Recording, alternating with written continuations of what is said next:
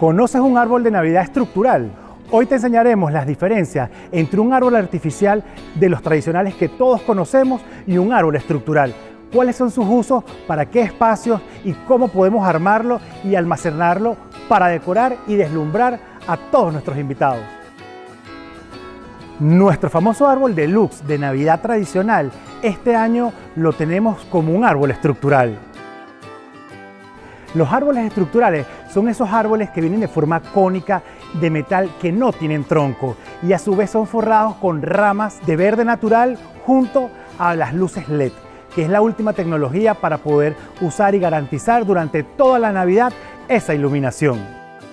Lo más importante de los árboles estructurales es su base, el estilo de las ramas, la iluminación y la forma de armar.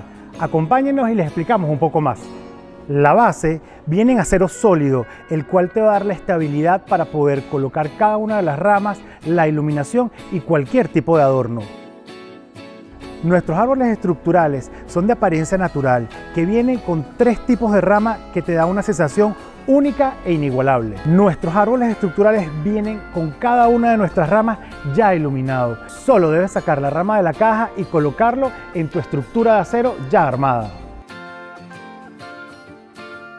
Los árboles estructurales de Joy Arte y Decoración vienen en tres tamaños, de 7, 9 y 11 metros de altura, que pueden ser utilizados dentro de casa o, fuera de casa.